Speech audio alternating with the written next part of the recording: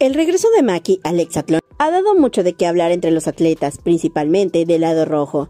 Y es que luego de estar varios días fuera de la competencia, debido a una fuerte infección, parte del equipo rojo no le cree y Eliud no pudo evitar lanzar un comentario durante la ceremonia de inicio del duelo de los enigmas y menciona que la caja maldita había regresado de vacaciones, pero haciendo referencia a Maki.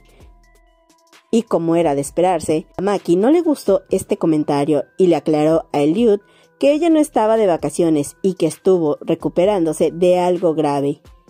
Y con este comentario dejó callado a Eliud, quien solamente se rió. Sin duda, Maki no piensa dejar que minimicen su lesión y comenzó poniéndole un alto a Eliud. ¿Qué opinas del comentario que le hizo Eliud a Maki y qué opinas de la manera en la que Maki respondió? Déjame tu opinión en los comentarios.